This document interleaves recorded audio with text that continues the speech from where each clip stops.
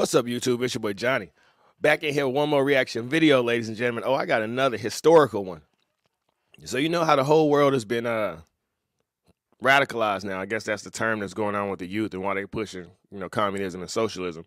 And we think these concepts are new. However, I got a video from 1966 to show the history just repeats itself.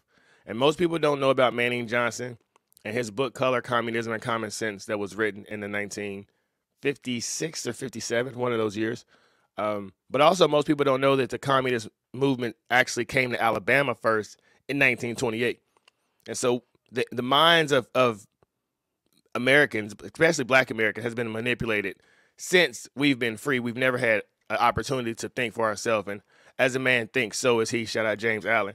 So we're going to look into this radicalization and what's been going on. And I want you to tell me if this video sounds like it's from 1966 or it's from 2022. If this is your first time to the channel, welcome. Get yourself on in here now. As I've said, man, the goal is to reach a million subscribers and start a million conversations. However, we can reach 100 million conversations. Look here, man. I'm a firm believer that we can kill all the narratives in today's world, man. We're just spirits encased in human flesh, trying to figure out this thing called life. We're not nearly as divided as the media would want you to think. So if you like what you hear, please share this video far and wide few particulars that make Omaha different from New York are just incidental. Mm-hmm. The problem exists because white people think they're better than black people and they want to oppress us and they want us to allow ourselves to be oppressed. This is the big, I agree with you uh, perfectly. This is the basic problem. Then what do you that want white people uh, think they're better than I can others. Do? I can't solve the problem. You guys pull the strings that close schools. You guys draw the boundaries that keep our kids restricted to the ghetto. You guys write up the restrictive covenants that keep us out of houses. So it's up to you to talk to your brothers and your sisters and persuade them that they have a responsibility. We've assumed ours for over 400 years, and we're tired of this kind of stuff now. We're not going to suffer patiently anymore. No more turning the other cheek. No more blessing our enemies. No more praying for those who despitefully use us. We're going to show you that we've learned the lessons you've taught us. We've studied your history, and you did not take over this country by singing We Shall Overcome. You did not gain control of the world like you have it now by dealing fairly with a man and keeping your word. You're treaty breakers, you're liars, you're thieves, you rape entire continents and races of people. Then you wonder why these very people don't have any confidence or trust in you. Your religion means nothing. Your law is a farce, and we see it every day. You demonstrated it in Alabama. And I can say you because you're part of the whole system. You profit from it. In fact, you make your living from it. You could Hey, on God, tell me this doesn't sound like this was right now, 2022, Black Lives Matter press conference. Like we we hate that people assume that black Americans are monolithic when it comes to violence or to the poor imagery shown on TV. But we see this is in 1966 that we're telling the white men, no, you're a part of that as well. See, we've always wanted to put people in groups, yet we get offended when we're put in groups. You know, when I was a kid, I always heard um, there's two things that stuck out, man. Treat others the way you want to be treated, and sticks and stones may break my bones, but words will never hurt me. And we've made men so emotional where now we got trigger words and safe spaces, which that's just a whole different concept. I don't think men should be triggered at all. Um, it's your job to be stoic. But however, we've got so far with groups, and now look how isolated we are. I keep saying, man, America is the Hunger Games, and no one is paying attention. Walk around and talk to people, stand up in your pulpit on Sunday and preach nice little songs and say, now we're going to give thanks to the Lord for he is good and old Jesus be among us. As far as we're concerned, your Jesus is contaminated, just like everything else you tried to force upon us is contaminated. Mm-hmm. Well, so you uh, can have him. And here's what I'll say. I wish you would follow Jesus like we followed him. Because if you did that, then we'd be in charge tomorrow. I think the problem is so bad that we can have no understanding at all. You think it's gotten to the point where there can never be that reconciliation? No. You talk about justice, it means one thing to you, and we talk about it, it means something else to us. Mm-hmm. And it'll always be that way. Mm-hmm. And I'd, I'd like you to know I have a terrible feeling against preachers because I think you guys are the ones who are largely responsible for the problem in the first place and you can accept it or not any way you choose. And for you, this may be an excursion, you know, in what, across what, the what line. About the person that wants to listen. And I agree with he's saying about preachers that they were you know, influenced by the communist movement as well, and influenced by Margaret Sanger and being pro-abortion, which is why we have the issue going on now. And, and the amount of young women who make jokes about getting abortions on Twitter, it's it's insane. Um, we don't take life serious, and we don't value the spirits that we create. And I'm a firm believer, man. You reap what you sow, and you keep being out here living on the negative negative frequency, and you're gonna keep attracting negative things into your life until you accept that you control your destiny. Your mind is 100% open. What happened in the past is there for you to learn from it, but not for you to repeat it. You become what you think about. So if you stand around comparing yourself to what happened back then, I promise you'll repeat it in your life. Embrace new concepts, embrace new ideas, and look for forward towards the future. I genuinely feel that I want to listen. Well, if you listen and try to do something, you get kicked out of your church. See, that's that's the way your people are. Well, we do make changes. Right? I mean, so the change And he said if he was to go to his church and try to per- give a different message, he would get kicked out. I say, what happens when you have conversations between black liberals and black conservatives? I would like to pose that question. of that come have been drastic. God bless you, little brother. Come back and see us again sometime. And don't look back in anger. Thanks for taking so taking it so well. He thought he thought we were going to do in here like they do to us. If, if we went in one of their places, everybody would have jumped out their chairs and got some ropes together and hung. Symbols of oppression. And I want to show videos like this because my whole life, I've been taught that cops are bad people. You know, like images like this don't go away. This is from the 60s. And right now, there are four or five years old kids who are being taught that police are bad, that good police are going to shoot you. If we want to evolve past the division of black versus white, then we have to show kids different ideas. One of us. We couldn't even go in one of the places like this.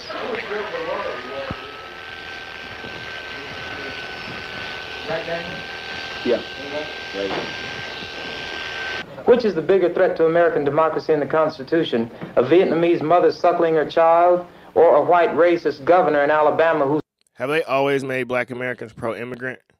Pay attention. Hey, hey, the communist plan is real slick, but it ain't changed that much over the last 50, 60 years. says, in so many words, to hell with the Constitution and Johnson and everything else? Which is the greater threat to democracy? This is true. These people have a kind of self-deception. You know, they believe. They circulate these myths so long that they've begun to believe them.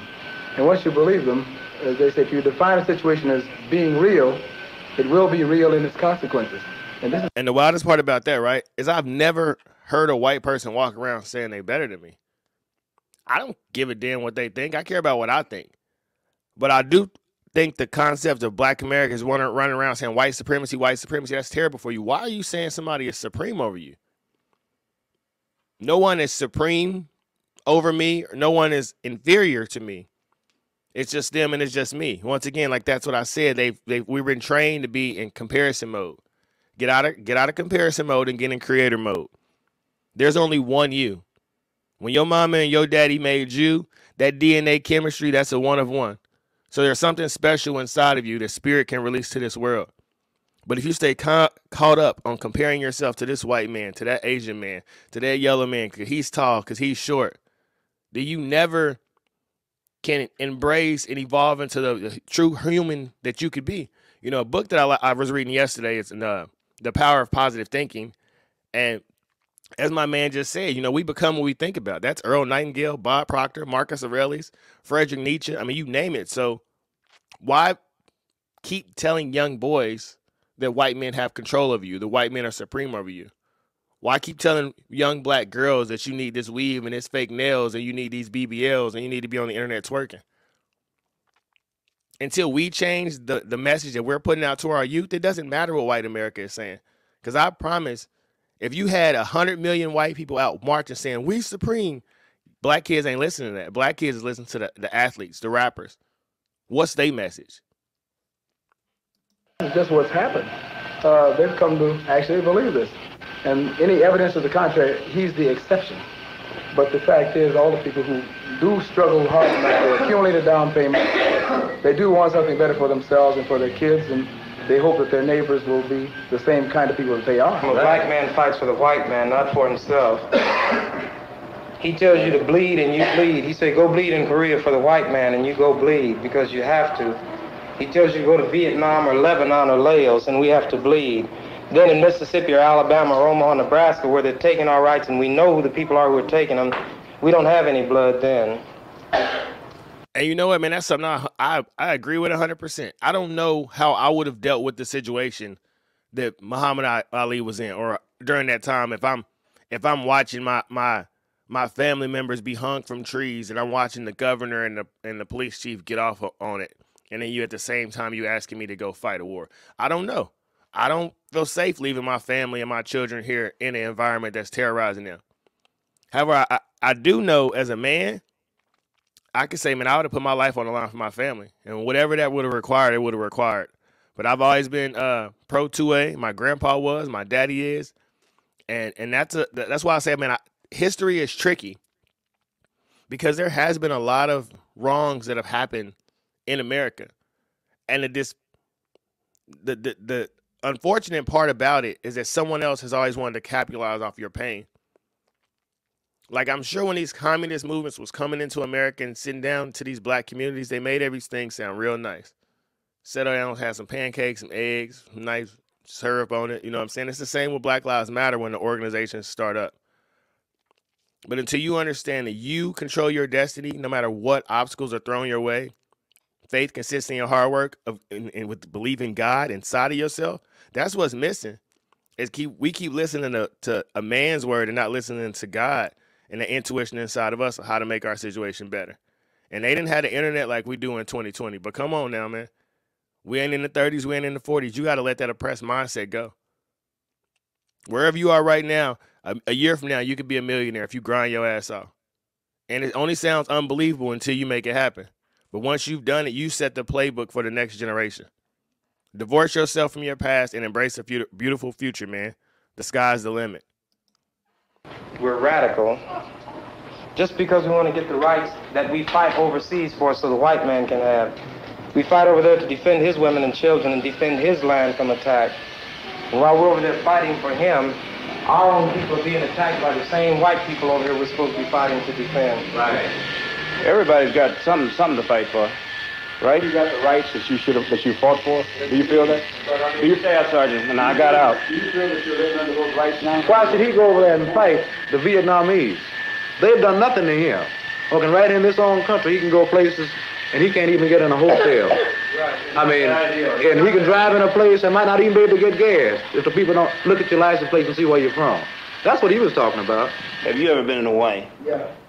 What do you think about you? They're black as you are, and I am, right? Yeah.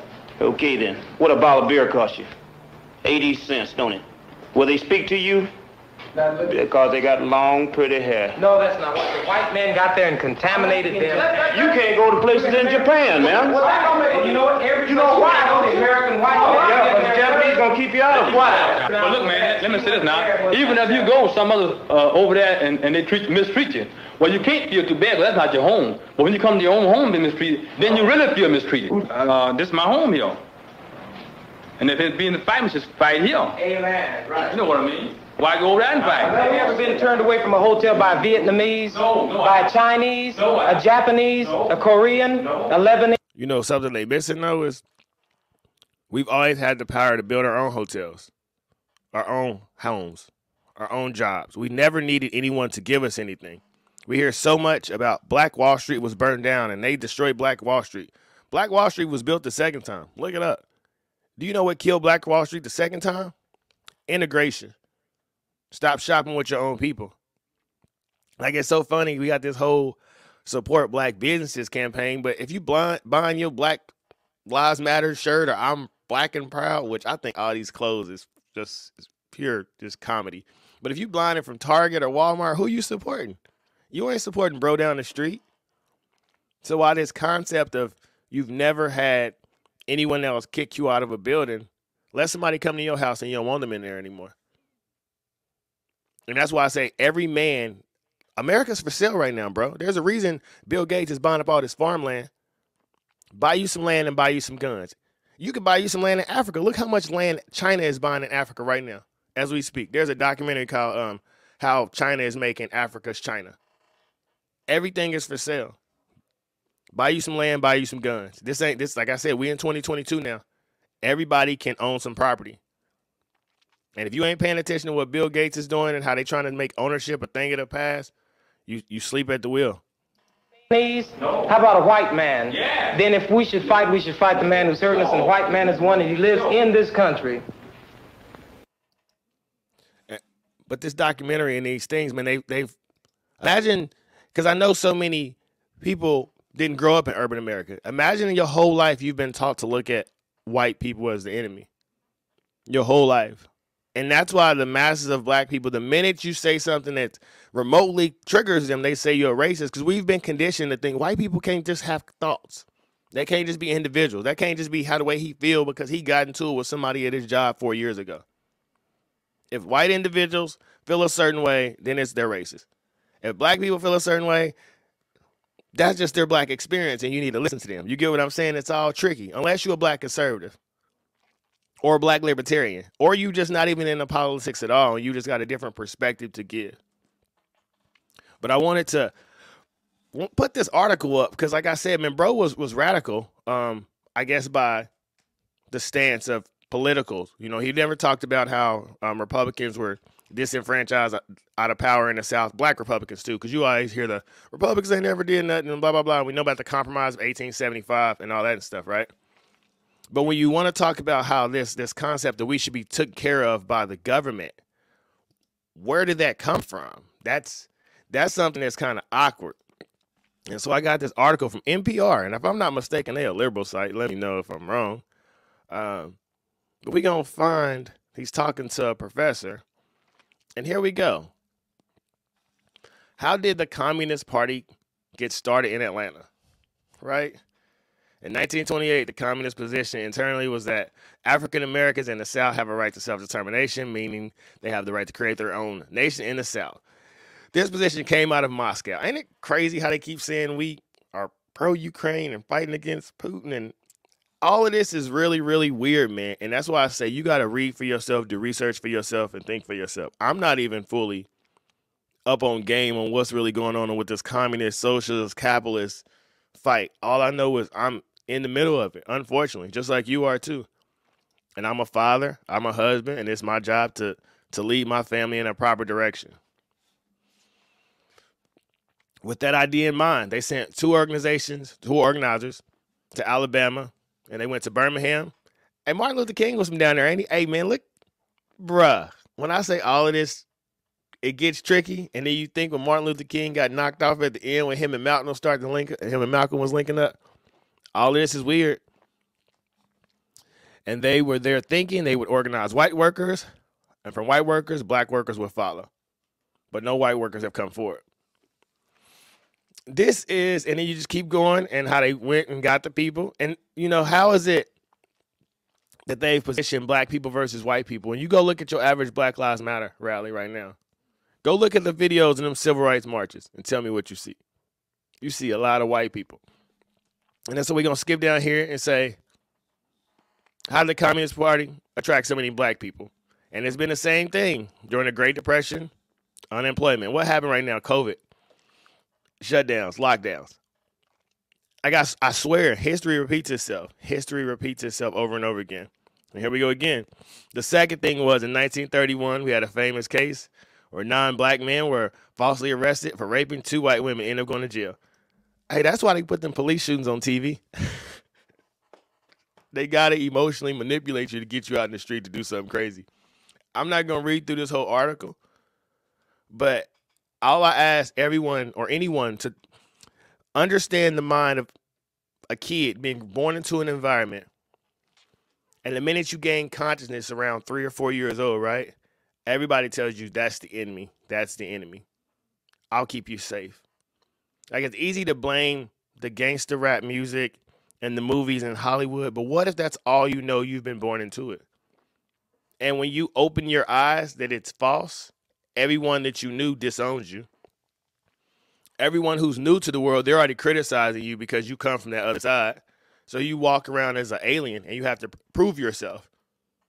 And that's why I say you got to believe in yourself because once you awake to truth, everything that you knew before is going to dissolve And you got to be comfortable with walking into the unknown because the unknown is where pure freedom is. I always say fear is false evidence appearing real. But if you can step forward and embrace a new future, divorce yourself from your past, man, God will bless you with everything you need and more. Like the video, share the video, subscribe to the channel. More reaction videos to come. Until next time, we out.